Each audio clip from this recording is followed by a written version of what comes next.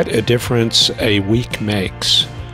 A week ago, we bottomed out at minus 4, and today we're coming close to 80 degrees. And we've already had to run the air conditioner once. And to our supporters, I do apologize for the lack of a supporter stream yesterday. I will make that up to you next Monday, but for now, we need to get things back on track this week, starting with our surface analysis. We have another cold front coming through the central U.S. This is of Pacific origin. You can see the air behind it quite mild, lots of 30s and 40s, and up in the northern plains, only a few 20s. Down to the south, there's the warm air. We don't quite have a dry line set up. This is probably the beginnings of a dry line out in the hill country, dividing this single digit dew point from 50s out to the east but not very much extent up to the north. We should see that dry line firm up by tomorrow. And that's due to rapidly increasing moisture advection, dew points rising up to the 60s overnight. However, we can see that cold front coming south, bringing drier air.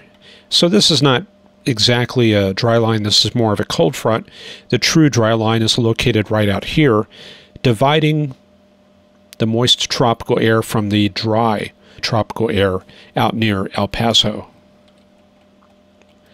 So the cold front will roll in and push the moisture down to the coast again, but we'll see that moisture advection start to return once again around the weekend. And that should make a lot more progress northward before the next cold front comes southeast. Ah, yes, the Storm Prediction Center.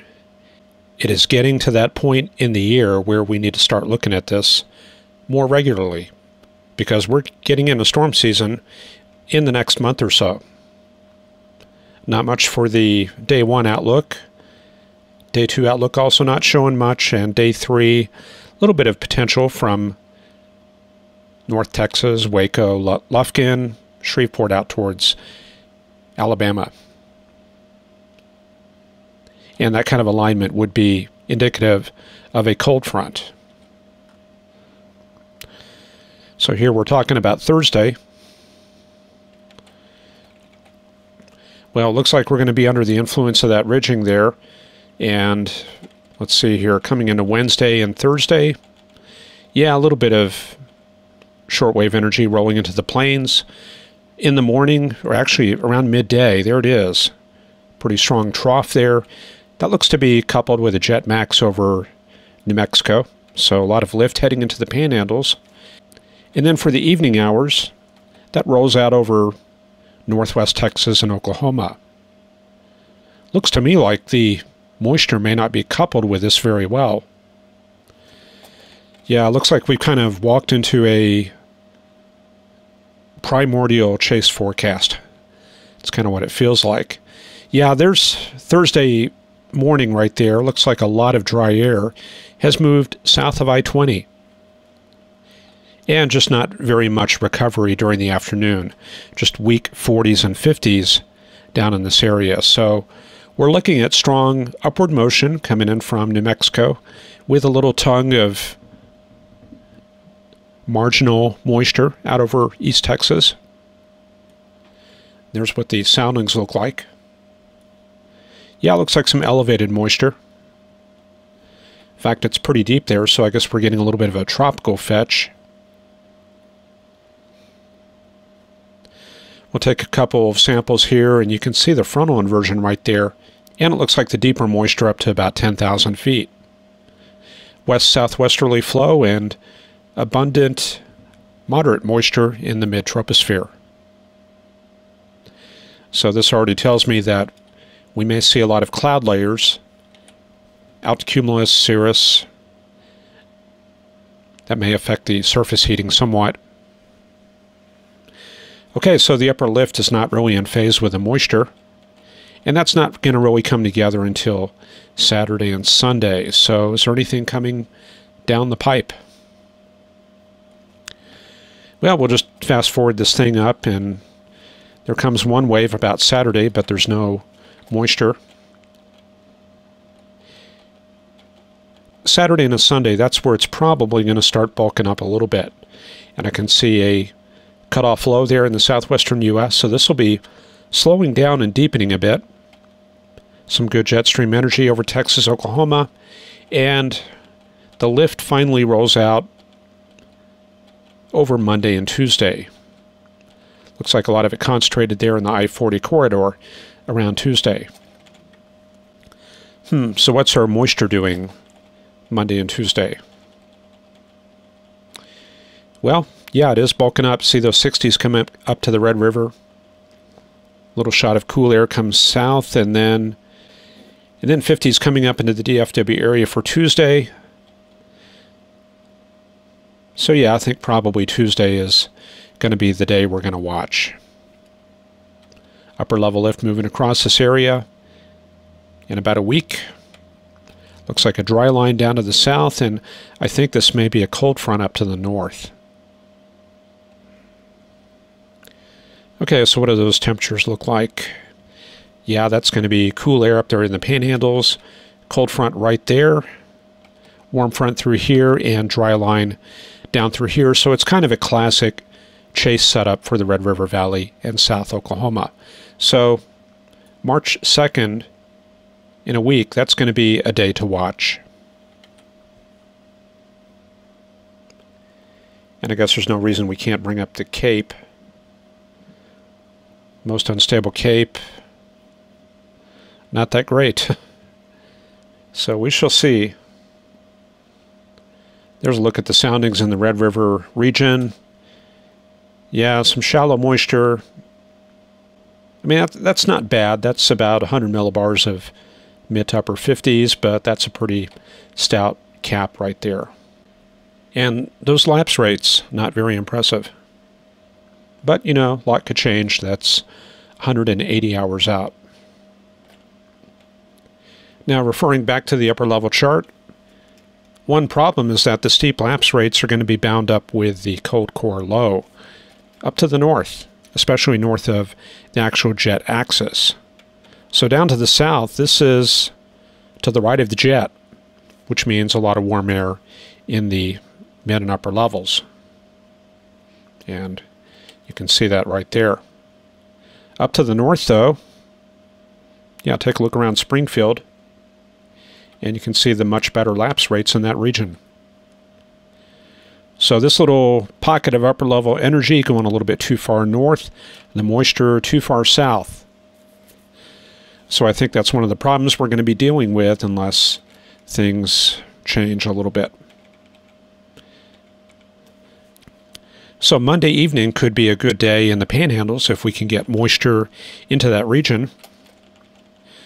Tuesday evening, I'm not too sure about. I think that low may be too far to the north. And by Wednesday evening, the upper level low has opened up and moved out to the coast. But we've got another one to look forward to after that, so we'll see what happens. Let's see what's happening today. Well, definitely a nice day across the southwestern U.S. We've got 80 at Tucson, 80 at Yuma, and 84 at Thermal, California. However, northwesterly flow in the San Joaquin Valley and at Tonopah, those are two signals that tell me that there's polar air coming down from the northwest. Certainly a very mild air mass, but it is present, and I think the leading edge is running about like that right there. Further out to the east,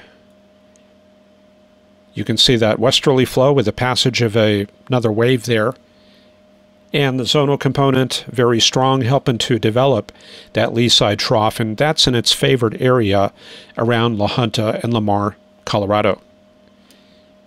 And those temperatures in Texas quite warm, lots of 70s all the way up through Oklahoma, and some of the warmest readings I'm seeing are 82 at Fort Stockton, and looks like very close to 80 along the Caprock. Not much to say about the southeast U.S. Certainly looks like they've had a push of cool air.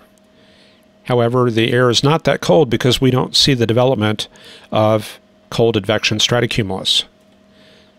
So it does look to be a quiet weather pattern in that part of the country, and I'm starting to see maybe what looks like a few forest fires in Alabama. Maybe we can check that out. Yeah, we'll look at anything interesting, so there you go. Yeah, that's definitely smoke. There's a couple of uh, cool products here. If you go to College DuPage and click over here to Natural Color and Fire, a lot of times that will bring out the heightened color within fires, but we can see that these are probably very localized since they don't really show up very well. And temperatures in that part of the country pretty mild with high pressure down in the Gulf of Mexico. And that's bringing this warm southwesterly flow into Georgia and Alabama. 70s all the way out towards Augusta and Atlanta. And going up to the northeast U.S., westerly flow. Well, that's a little bit of a change. It's not northwesterly. Typically, northwesterly flow brings in cold advection and much cooler air masses from Ontario and Quebec. So here it looks like we're tapping a little bit of that Midwest air where it's in the 40s and 50s. And as a result, temperatures are pretty much in the 30s and 40s. And as we mentioned, some snow on the ground in Pennsylvania, in Ohio. And there goes the remains of the backside of that system there into Maine and New England, and that'll bring us into this area fair weather, at least for another day. Now, the north central U.S., that is where we have a little bit of weather going on. You can see that baroclinic system up there in the Dakotas, that comma shape. The widest part of that comma shape, usually associated with the warm air advection, and the subsident area right there, and that tends to be associated with the cold air advection and the westerly flow on the backside of that system. This here looks like a little bit of convective growth, maybe some instability there in the low levels. I mean, kind of resembles a thunderstorm, even though that's not what it is. So that's going to be northwestern Iowa. And we can see our surface system there in southwestern Minnesota.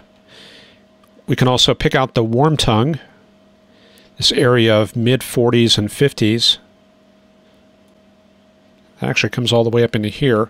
The cold front located, I guess it's going to be roughly like that, a lot of downslope back behind it. And the warm air advection region, it's going to be right here over the warm front and up north of the surface cyclone.